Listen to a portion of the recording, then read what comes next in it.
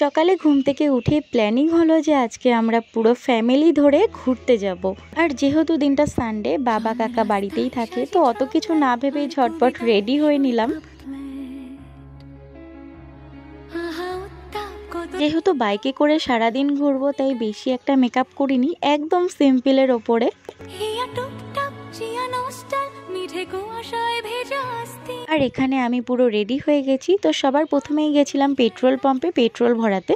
আসলে বন্ধুদের সাথে ট্রিপে যাওয়া বন্ধুদের সাথে ঘুরতে যাওয়া এগুলো আজ পর্যন্ত আমার লাইফে হয়নি। আমি সবসময় আমার ফ্যামিলির সাথেই ঘুরতে যাই। আর আমার মা বাবাও আমাকে অনেক অনেক জায়গায় ঘুরতে নিয়ে যায়। তো সবার প্রথমেই আমরা চলে এসেছিলাম সাত ভাই কালী মন্দির। তো এই মন্দিরটা অনেক জাগ্রত। এখানে আমার মা, বাবা, কাকা, কাকি সবাই আমরা খুব আনন্দ করেছি। চল রাস্তায় সাজে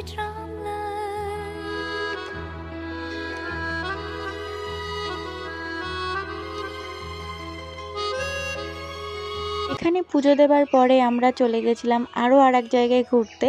আসলে আমরা জানিই না কোথায় যাব, আমাদের গন্তব্যস্থান নেই, আমরা বাইক নিয়ে শুধু রাইড করব।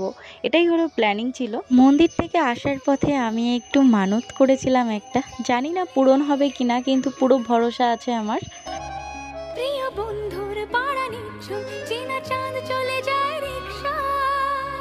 যেতে যেতে হঠাৎ খুব খিদে পেয়ে গেল, তাই চলে এসেছিলাম একটা রেস্টুরেন্টে যেহেতু আমরা সকালেই বেরিয়েছি বাড়ি থেকে, তাই আমাদের সকালে কিছুই তেমন খাওয়া হয়নি, তাই আমরা ভেবেছিলাম রাস্তায় খেয়ে নেব।